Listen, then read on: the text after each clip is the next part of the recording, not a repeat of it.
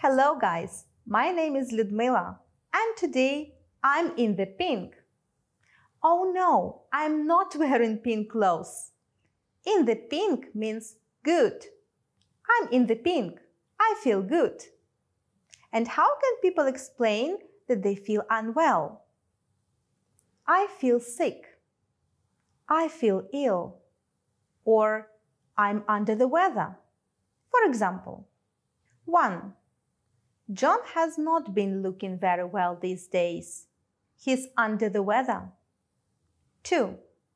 The children and I have had so many colds this winter. The whole family has been under the weather for weeks. Well, I guess now you know the topic of our lesson today taking care of yourself. And you will learn how to speak about good and bad health. What are the words that we need to speak about health? Here they are. Burn. Hurt by heat or fire. Cut.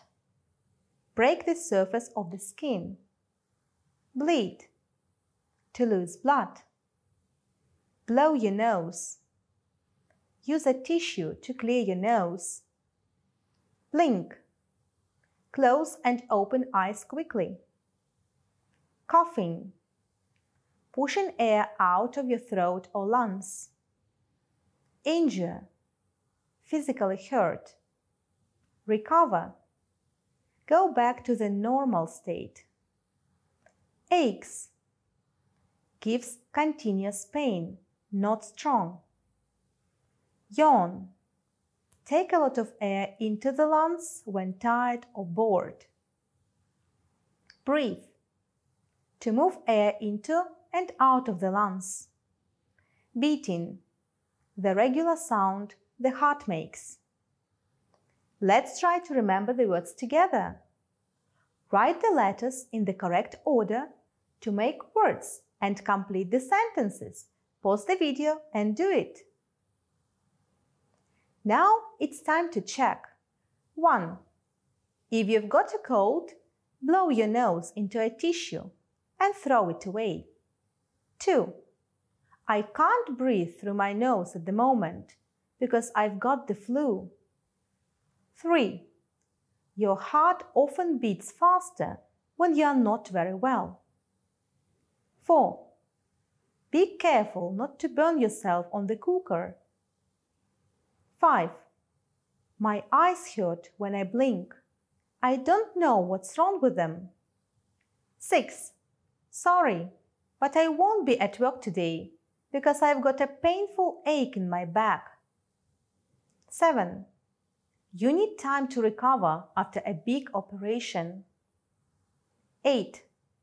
The footballer has injured himself again and can't play in today's match.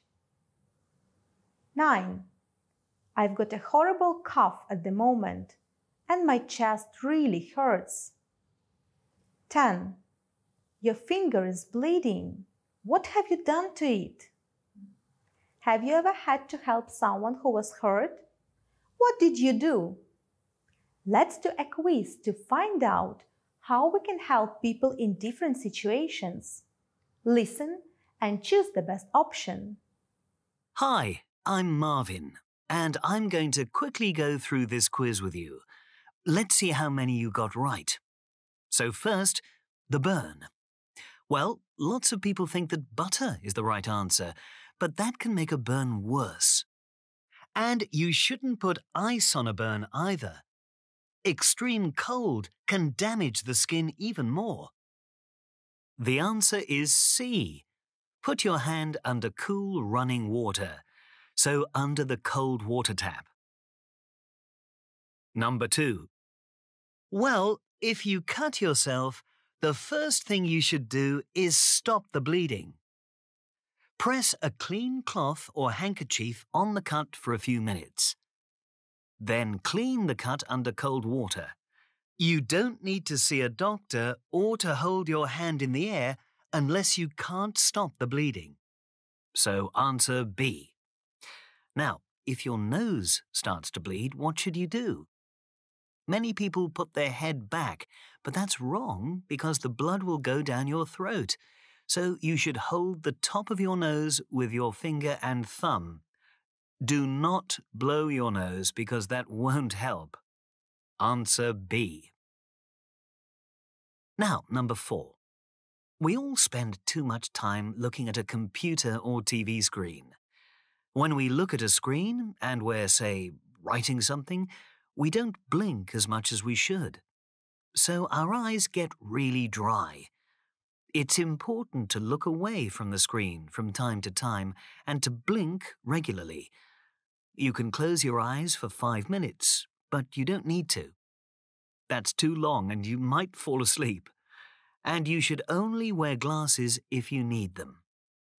Don't turn all the lights in the room off either. This will only make your eyes hurt more.